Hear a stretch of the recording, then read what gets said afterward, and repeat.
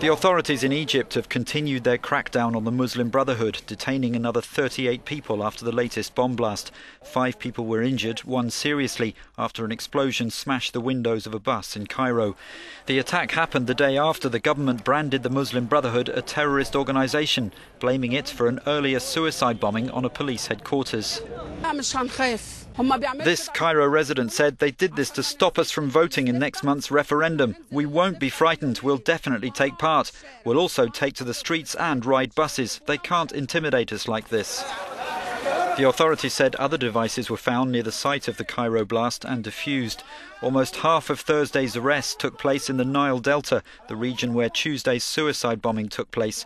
The further crackdown comes even though the Brotherhood condemned the attack and denied carrying it out. At a briefing given by its supporters, this activist said the accusation that the Muslim Brotherhood are terrorists hasn't been confirmed. The decision was taken in a hurry and the prosecution hasn't ruled on it. Meanwhile, the explosions the government accused the Brotherhood of carrying out were perpetrated by other groups. From now on, anyone taking part in Muslim Brotherhood protests like this could be jailed for five years. Further support could bring life. Its leaders face possible death sentences.